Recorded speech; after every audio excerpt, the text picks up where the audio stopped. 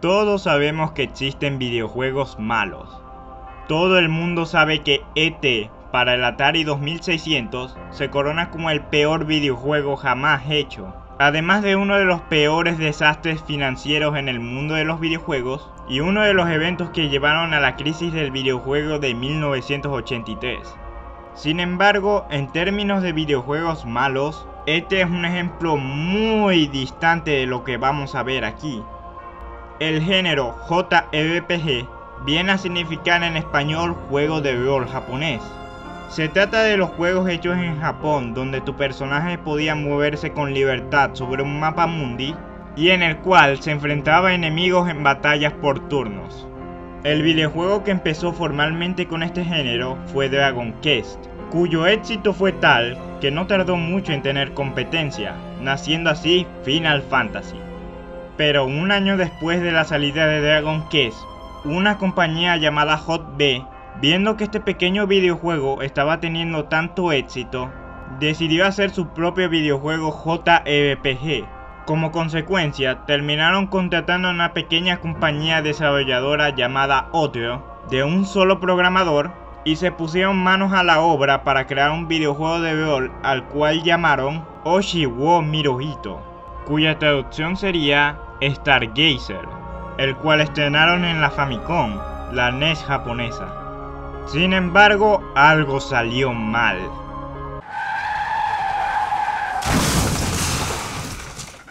Es gracioso, pero los japoneses tienen una palabra para designar a los videojuegos que son malos y están pésimamente programados, la cual es kusoge, literalmente juego de mierda. Pero entre los kusoges existe lo que se conoce como Densetsu no Kusoge, literalmente legendario juego de mierda.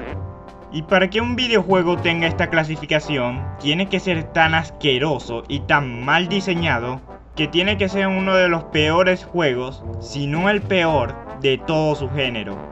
Stargazer era un Kusoge legendario y tenía buenos motivos para hacerlo. Stargazer comienza simplemente con una pantalla de introducción. Esto es todo lo que entenderás del juego, ya que tan pronto apretes Start, serás tirado en medio de un mapa mal dibujado, donde literalmente puedes ver cada cuadro del escenario como si esto fuera RPG Maker. El juego empieza sin ninguna explicación sobre quién eres, qué haces o la historia del juego, tampoco sobre lo que debes hacer. Bien lo lógico sería ir al primer pueblo del juego, porque lo lógico es empezar cerca de uno. ¿Qué? ¿No lo ves? Mira, si está justo ahí. Oh, claro, esto no es Final Fantasy, donde el primer pueblo es gigantesco. En realidad el primer pueblo se encuentra aquí, justo al lado del personaje. Sí, es invisible. Por un momento pensamos que los programadores son idiotas, hasta que uno de los NPC nos dice que en realidad todos en el pueblo han unido sus poderes para ocultarlo. O sea, ¿qué? ¿Por qué usar una excusa tan barata para hacer más difícil el juego?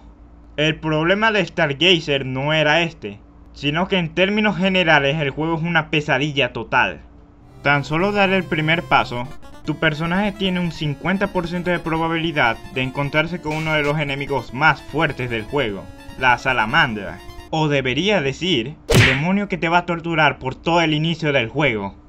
Este enemigo tiene por costumbre lanzarte potasio con una probabilidad del 100% de enfermar a tu personaje, dejándolo paralizado por el resto de la batalla.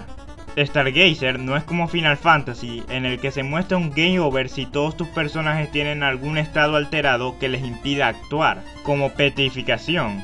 Por lo que debido a esta falta de muerte automática y al hecho de que no puedes huir de la batalla, ya que la huida es una habilidad que se obtiene por nivel, Estás condenado a ver cómo tu personaje es atacado turno por turno hasta que muere. Por lo menos hay continuo, ¿verdad? Eh, no. Si te matan en Stargazer, tendrías que comenzar desde el principio de nuevo. La puta madre. La mayoría de los enemigos de la primera zona del juego suelen ser extremadamente fuertes. Y no es como si estuvieras muy preparado para enfrentarlos, siendo que no tienes arma. Y estoy completamente seguro de que este es el único videojuego en la historia cuyo personaje empieza siendo de nivel 0. Por lo que tus estadísticas son una porquería. Pudiendo tu personaje apenas infligir un punto de daño a los enemigos o no infligir daño en lo absoluto.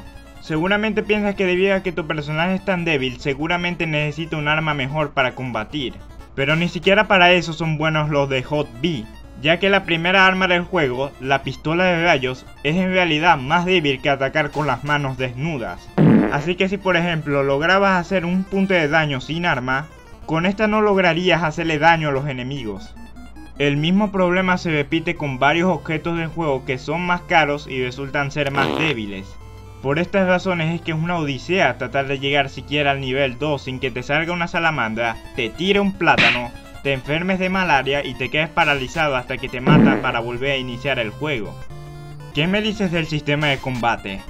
Bueno, es una porquería, como todo en el juego.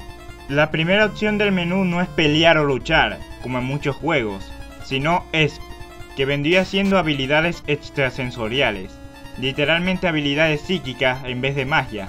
El problema del ESP es que al inicio del juego no tienes nada, por lo que si seleccionabas esta opción por accidente no podías regresar al menú a elegir otro ataque, por lo que perdías el turno entero. ¿Has visto ese número que está al lado del personaje? Ese número es la cantidad de vida que tiene tu personaje. Por ejemplo, si tenías 5 puntos y recibiste 20 de daño, el indicador bajaba a 3. ¿Por qué sucede esto? Algunos podrían pensar que esto es alguna especie de algoritmo raro de la Famicom para mostrar el indicador de vida, pero no. Lo que en realidad pasaba es que el juego obviaba el último dígito, por lo que si tenías 5 de HP podrían ser 50 o 59, y si tenías 1 podrían ser 10 o 15.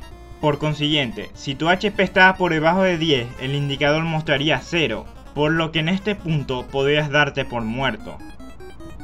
Ahora te preguntarás, ¿siquiera el juego es viable para transportarse de un lado a otro? La respuesta es... no. Lo primero que notas al jugar el juego es que el personaje es tremendamente lento, tardando apenas un segundo en caminar dos cuadros del mapa, lo cual es bastante si nos ponemos a ver. Aquí el personaje es más rápido ya que en el video el juego está modificado, pero así se mueve en realidad.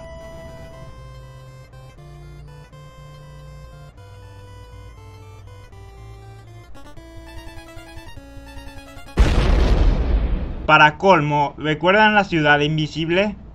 Bueno, resulta que también hay muchos objetos invisibles desperdigados por todo el mapa, que solo los puedes encontrar una vez que estás encima de ellos.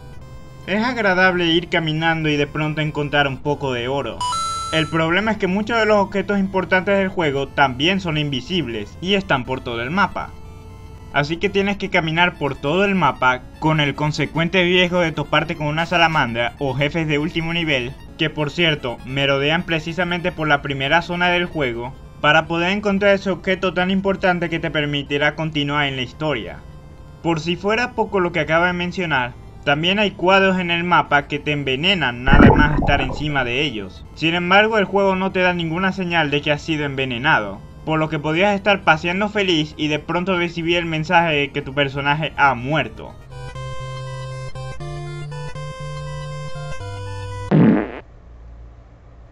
De vuelta al inicio del juego.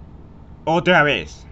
Parece ilógico, pero la aparente mejor forma de transportarse, o la peor, era entrar en una ciudad, cueva o calabozo y acto seguido salir de él, ya que muchas veces si salías de una ciudad, el juego no te dejaba al lado de la ciudad, sino que de pronto tu personaje aparecía en una locación totalmente diferente. Así, la segunda ciudad, que es visible, te mandaba directamente al inicio del juego, cosa que sucede con cada locación de Stargazer. Lo mejor que podías hacer en este caso era buscar en todo el mapa la localización de cada pueblo, cueva y fortaleza visible e invisible, y tratar de memorizarte hacia dónde diablos te mandaría a continuación.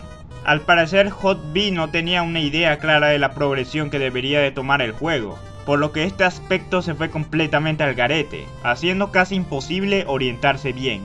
Ya sabemos que la progresión y el sistema de combate son una porquería. Antes mencioné que si morías en Stargazer tenías que volver a empezar el juego, pero en realidad podías guardar la partida mediante un sistema de passwords. Como todos saben, en esos tiempos el sistema de guardado en los juegos tenía que hacerse mediante batería interna en el cartucho, cosa costosa para los fabricantes, por lo que se introducían passwords para salvar la progresión en el juego. El problema era que por sobre todo lo anterior dicho, esta era una de las peores características introducidas en Stargazer. Resulta que el juego fue tan inútilmente programado por HotB que el sistema de guardado de Stargazer guarda ciertos datos en paquetes de unidades. Por ejemplo, el juego guarda el dinero en paquetes de 256 unidades, por lo que solo puedes guardar dinero en múltiplos de 256. Así que si tenías 600 monedas, el juego solo te guardaba 512. Si tenías 200, no guardaba nada. Por lo que si avanzaste en el juego y decidiste continuar usando una contraseña, podías perder parte de tu dinero o perderlo todo. Podías aparecer en una zona completamente diferente si tenías X cantidad de ítems, es probable que algunos desaparezcan. Y la peor parte, es que la experiencia se guardaba casi igual al dinero, pero solo en unidades de 4. Así que si tenías un personaje nivel 3 y usabas una contraseña, el juego te da un personaje de nivel 0. Se podría decir que los japoneses se llevaron la peor parte, ya que el alfabeto con el que estaba escrito el juego era el hiragama, algo que los japoneses pueden entender muy bien, pero por una razón desconocida, HotB decidió que los passwords estuvieran escritos en el alfabeto menos claro y entendible para los japoneses, el katakana, junto con una combinación de caracteres en inglés. Ni siquiera los japoneses lo entendían. Por cierto, el juego no cuenta con algún sistema de ítems, tampoco. Si comprabas un arma, se te equipaba automáticamente, destruyendo el objeto anterior que estuvieras usando en ese momento, sin la posibilidad de venderlo o cambiarlo. Eventualmente, nada de esto es en realidad lo que hará tu ascenso en el juego difícil, sino un objeto vital conocido como las tarjetas de seguridad. Para poder entrar en ciertas zonas necesitabas dos de estas, una para entrar y otra para salir. Así que si solo tenías una de estas, podías quedarte atascado en una zona y recibir Game Over. Puedes comprar las tarjetas, pero son objetos caros y se necesitan bastantes para avanzar en el juego. Pero todo juego se salva por su historia, ¿verdad? Em, no. Pasando del hecho de que te introducen al juego sin ninguna explicación de la trama o siquiera los controles, la verdad es que la historia del juego estaba escrita en el manual. Stargazer se diferenciaba de otros juegos similares de estética medieval por la razón de que el juego estaba inspirado en otro videojuego de Hot B llamado City Psyche, el argumento de Stargazer se trata de un futuro distópico donde un superordenador conocido como Crew 3 le lava el cerebro a gran parte de la población mundial, convirtiéndolos a todos en esclavos y conduciendo lentamente a la humanidad a su extinción. Las únicas personas inmunes al poder mental son las personas con poderes psíquicos, que son cazados y exterminados por escuadrones de la muerte al mando del superordenador todo parece perdido, salvo por cuatro niños con un increíble poder psíquico, los cuales son la última línea de defensa para destruir al ordenador y salvar a la humanidad. Suena interesante, ¿no? Bueno, pues existe la verdad y la verdad. La verdad es que esta es la historia del manual. La historia del juego trata delfines y ballenas superinteligentes que han sometido a la humanidad. Es en serio.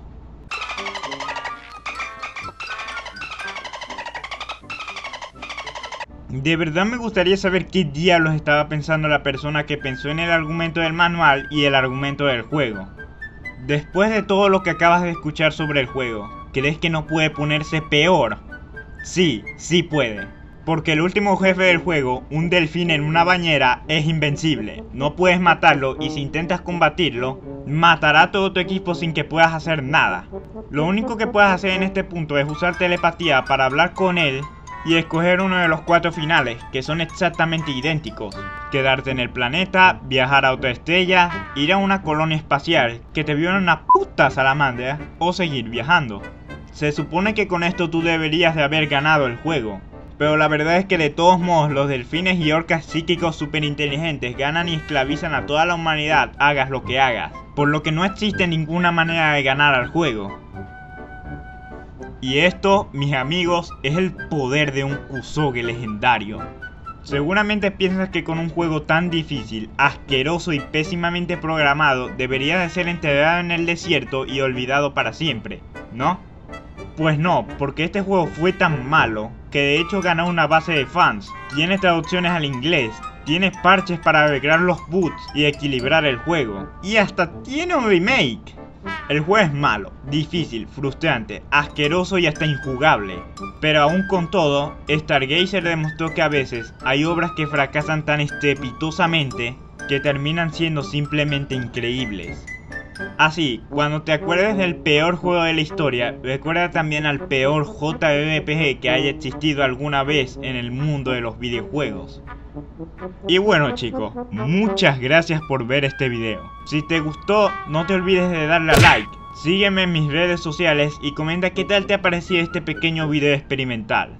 Si tienes algún tema interesante para videos, no te olvides de comentármelo también. Y si quieres ver más videos así, lo que tienes que hacer es suscribirte. Como siempre, yo fui Shadow y nos vemos hasta la próxima. Chao. ¡Puta salamandra!